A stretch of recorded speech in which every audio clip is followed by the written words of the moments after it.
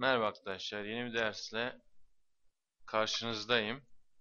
Ee, Bu dersimizde arkadaşlarımızdan birinin bir sorusu var. Onunla ilgili bir dersimiz olacak.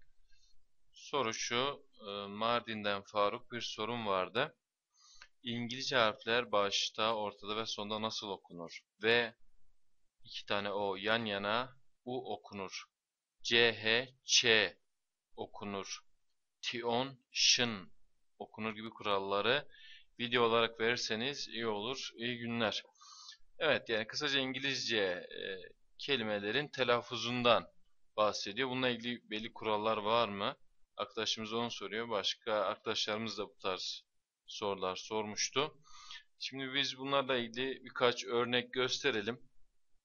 Ondan sonra gerekli yorumları yapalım. Ee, evet. Mesela CH arkadaşlar. CH Ç olarak okunur. Bunu unutmayalım. Mesela e, champion.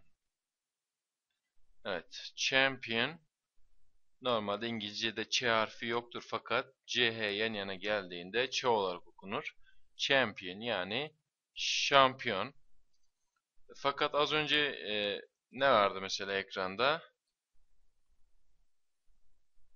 Bu nasıl okunur acaba? Doğru yazalım. Arkadaşlar bu Chevrolet diye okunur. Normalde CH genel itibariyle Ç olarak okunur. Fakat e, ş, burada CH ne yazık ki Ş olarak okunuyor. Chevrolet. Şimdi tabii siz e, şu, aklınıza şu gelebilir ya İngilizce gerçekten niye bu kadar karışık? E, nedeni ne acaba? Arkadaşlar İngilizcenin bu kadar karışık olmasının nedeni İngilizce'de çok sayıda Fransızca, Almanca, İspanyolca kelimeler vardır. Bundan dolayı yani siz bu kural %100 budur ne yazık ki diyemiyorsunuz.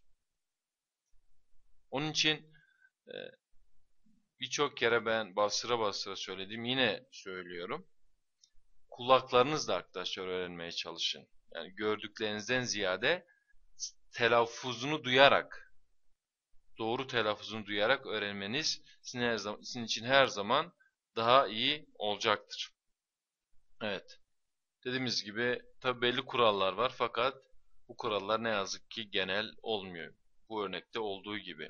Yine örneğin PH e, bir araya geldiğinde arkadaşlar F olarak okunur. Örneğin Philips. Normalde Evet burada F harfi yok fakat PH bir araya geldiğinde Philips diye okunur. Ne arkadaşımız örneğin şöyle sormuştu. Örneğin e, iki tane O var arkadaşlar. İki tane O burada blood. Blood kan demek. Burada iki tane O bir, ar bir araya geldiğinde arkadaşlar A olarak telaffuz edilmiş. Yine ona benzer bir kelime daha. Flood. Bu da sel demek. Yine iki O bir araya geldiğinde A olarak telaffuzu oluyor. Fakat bu böyle mi? Yani iki A, iki O bir araya geldiğinde devamlı A olarak mı oluyor? Ona bakalım farklı bir örnek verelim. Örneğin good. Bakın burada iki tane O yan yana gelmesine rağmen A olarak okuyamadık. Okumamamız lazım. U olarak okuyoruz. Good.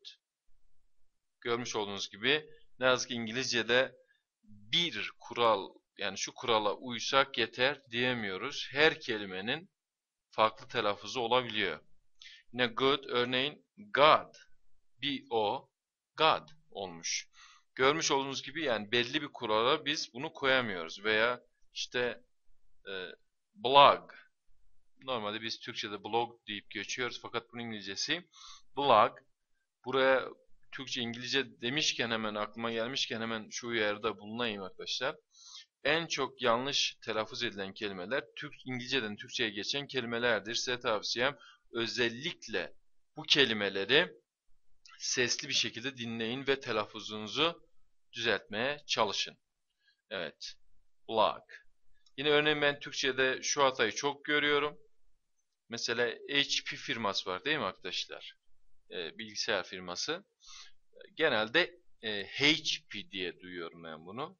Yani o kadar duyuyorum ki artık ben de neredeyse HP diyeceğim. Artık e, neredeyse ben de tereddütte düşüyorum. Arkadaşlar HP değil HP H bu HP olacak. E harfiyle başlıyor. HP. Bunları unutmayalım. Yine telaffuz demişken örneğin mesela İngilizce'de unutmamız gereken diğer bir konu da L harfleri her zaman kalın okunur arkadaşlar. Mesela biz Türkçe olarak düşündüğümüzde bu blue'dur değil mi? Blue. Ama blue değil. Blue. Oradaki L harfi kalın olacak. Mavi. Blue. Kalın. Bir şekilde L'yi telaffuz etmemiz gerekiyor. Yine telaffuz konusuna gelmişken örneğin İngilizce'de olmayan kelimeler de telaffuzda çıkabilir. Mesela burada bu kelimede thirsty. Thirsty susuz demek. Susuz. I'm thirsty. I'm thirsty dediğinizde ben susuzum. Şimdi burada arkadaşlar görmüş olduğunuz gibi thirsty diyoruz. Bakın ö harfi çıkıyor. Fakat İngilizce'de ö harfi yok. Ama gelin görün ki telaffuzda, günlük hayatta konuşurken karşımıza ö harfi çıkıyor. İşte bu da İngilizcenin aslında e, bizim anladığımız kadarıyla yani Türkçe ile çok bir ortak noktası yok. Çünkü Türkçe'de e, genelde yazıldığı gibi okunur. E, bizim dil yapımız biraz daha İngilizceye göre ben öyle düşünüyorum. Biraz daha e, kibar. İngilizce'de daha kalın harfler var. E, aynı zamanda Türkçe'de kelimeler dışarıdan çok e, tabi Osmanlıcadan, Arapçadan her ne kadar kelime geçse de İngilizce kadar ge kelime geçmediği için kurallar genel itibariyle uyuyor. Fakat görmüş olduğunuz gibi İngilizce'de şu kural yüzde yüzde yüz bu kurala uyduğunuzda e, işinizi görür diyemiyoruz. Çünkü karşımıza çok farklı şeyler görmüş olduğunuz gibi çıkabiliyor ne yazık ki. Mesela şu kelimemiz arkadaşlar. Bunun telaffuzu arkadaşlar height. Unutmayalım. Height. Yükseklik. Height. Ee, ne arkadaşımızın da söylediği gibi mesela kelimenin sonuna e, şey geliyor. Tion yani şın olarak okuduğumuz mesela ne olabilir? Evaluate, evaluation. Evaluation. Evet, evaluation bir şeyi değerlendirme demek. Burada görmüş olduğunuz gibi tion genelde şın olarak telaffuz e- edilir. Evaluation. Evaluation. Şeyi değerlendirme. E yine buna benzer e, ne var? Motivation. Değil mi? Motivasyon. Motivation. Genelde biz bunu e, Sion diye çevirmişiz. İngilizce'de şın olarak geçiyor. Motivation. Evaluation. Motivation. Örneğin mesela şu kelimemiz var arkadaşlar. Bunun telaffuzu ne acaba? Arkadaşlar bunun telaffuzu science. Science yani bilim demek, fen demek. Telaffuzu science. Since değil. Farklı telaffuz da değil. Science. Y harfi çıkacak arkadaşlar. Science. Yine buna yakın bir kelimemiz var. Mesela bu since. Arkadaşlar unutmayalım. Since. Genelde perfect tense'de kullanılır. Vakit belirtmek için kullanıyoruz. Ee, veya since aynı zamanda çünkü demek. Kelime içinde, cümle içinde since, since çünkü olarak da kullanabiliriz. Ne aklıma gelen şeylerden e, gitmek istiyorum. Evet şu an çok aklıma da bir şey gelmedi. Ee, bakayım arkadaşımızın sorusuna.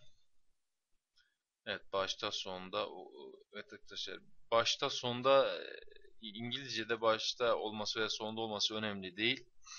Ee, yani görmüş olduğunuz gibi çok e, kurallara bağlı bir dil değil. Çünkü çok farklı dilden etkilenmiş bir dil. Ee, yani İngilizce sonradan diğer dillere göre sonradan güç kazanmış bir dil ol güç kazanan bir dil olduğu için genelde Fransızcanın işte Almancanın İngilizcenin e, pardon e, İspanyolcanın etkisinde kalmış.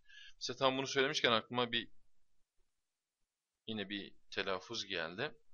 Arkadaşlar Manhattan. Yani Manhattan olarak genelde duyarız biz bunu. Manhattan New York'un merkezi. Manhattan. Ama bu Manhattan kelimesi Almanca bir kelime aslında. Bunun e, yani orijinalini çıkarmak çok zor. Gerçekten zor. Yani Almanca bir kelime. Yanılmıyorsam yani e, orijinali şu şekilde. Bu e, şöyle olacak. Manhattan. Yani oradaki T'ler olmayacak fakat siz orada duracaksınız. Manhattan. Böyle bir telaffuzu var. Çok farklı bir telaffuzu. Almancadan geçmiş bir kelime. Nedeni ne? Çünkü yani Amerika'yı oluşturan insanlar Almanlar, Fransızlar, Avrupalılar işte bunlar hepsi bir araya gelerek Amerika'yı oluşturmuşlar. Doğal olarak bunların kültürleri, dilleri İngilizceye de bir şekilde akmış. Manhattan. Evet, bu Almanca bir kelimeydi. Örneğine aklıma bir İngilizce'de bir Amerikalı sanatçı geldi. Beyoncé. Bakın burada normalde aslında şu sondaki E harfinin üzerinde çizgi var. E, Fransızca bir kelime oluyor bu. Beyoncé. Normalde Beyoncé. O e, şey olmasa e, e harfi hani Fransızcadan gelen bir kelime olmasa Beyoncé olarak telaffuzu yani mantıken onu gerektiriyor. Fakat Fransızcadan gelen bir kelime olduğu için Beyoncé.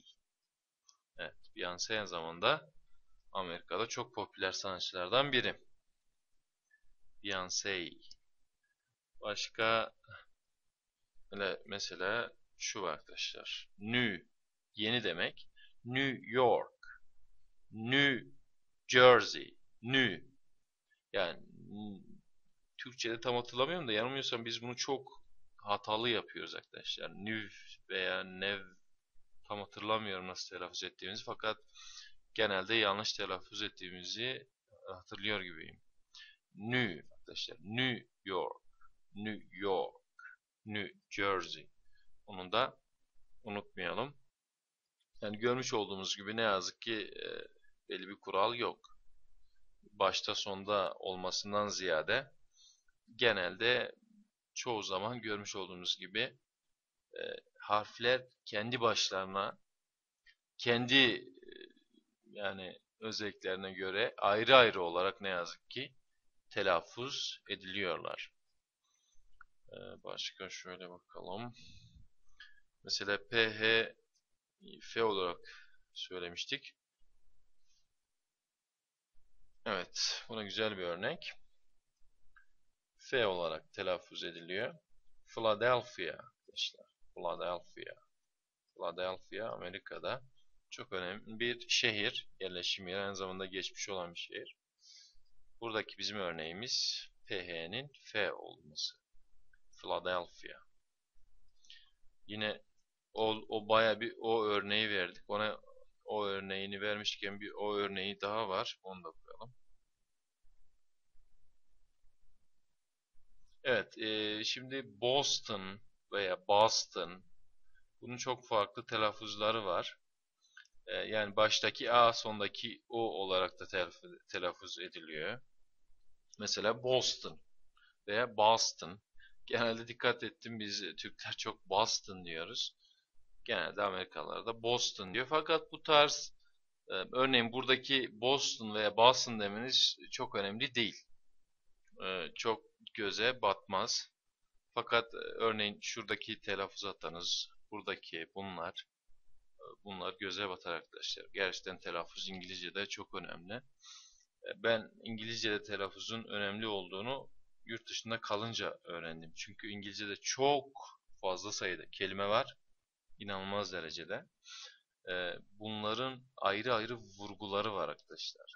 Ayrı ayrı. Her kelimenin ayrı ayrı bir harfe kelimede bulunan bir harfe genelde vurgu olur.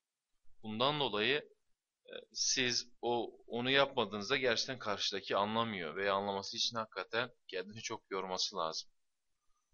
Evet, yani kısaca telaffuzun hakikaten önemli olduğunu çok iyi bilmemiz lazım. Ona göre yani bak çok çalışmadan ziyade benim size tavsiyem sistemli çalışın, düzenli çalışın, sesli sesli bolca filmler izleyin mesela. Film size çok şey verecektir.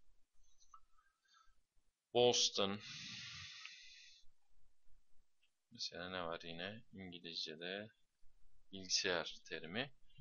Computer. Mesela computer. Bilgisayar. Hmm. Mesela yine iki harf bir araya gelsin. Farklı bir ses oluştursun. Cherry. Evet. CH görmüş olduğunuz gibi burada Ç harfine dönüşmüş. Fakat burada neydi arkadaşlar? Şeydi değil mi? Chevrolet. Bakın şu sondaki T harfini telaffuz etmiyoruz. Y varmış gibi düşünüyoruz. Chevrolet. Evet enteresan. Ee, başka şöyle aklıma gelmişken arkadaşın sorusu. Başta sonda. Yani çok yani bilmemiz gereken en temel kural e, bildiklerimizden başlayarak kelimelerin telaffuzunu tek tek, teker teker sesli dinlememiz gerekiyor. En, en temel kural bu arkadaşlar. Evet, en temel kural bu. Siz zaten belki ilk etapta biraz zorlanacaksınız. Fakat belli bir seviyeden sonra zaten çok artık kelime ezberlemeyeceksiniz. Çünkü günlük dilde kullanılan kelime sayısı zaten sınırlıdır. Bunu da unutmayalım. Yine buradayken aklıma gelmişken şöyle şu güzel örneğini de verelim. Evet arkadaşlar Volvo değil mi? Bir araba markası. Bunun telaffuzu arkadaşlar Volvo. Yani kural yok arkadaşlar. Öyle çok kuralımız ne yazık ki yok. Volvo. Volvo yani. Evet. Evet arkadaşlar. E, bugün bu dersimizde bu kadar. Ee, kısaca bu dersten öğrendiğimiz şey şu. Bolca kulaklarımızla öğrenelim. Mümkün mertebe e, filmlerden yararlanalım. Yani YouTube'da dünya kadar video bulabilirsiniz. Oradan sporu seviyorsunuz. Açın İngilizce spor kısımlarını dinlemeye çalışın. Biraz da kendinizi zorlayın. Ama set en önemli tavsiyelerimden biri de şudur. Ne olursa olsun telaffuzu doğru şekilde yapmaktan kaçınmayın. Kendinizi yorun. Ee, bir defa doğru öğrenirseniz tamamdır. O kelimeyi kaparsınız. Ama yanlış öğrenirseniz o her zaman sizin, sizin için sıkıntı olacaktır. Bunu da unutmayın. Evet arkadaşlar bu dersimizde bu kadar. Umarım sizin için faydalı olmuştur. Bir sonraki dersimizde görüşmek dileğiyle.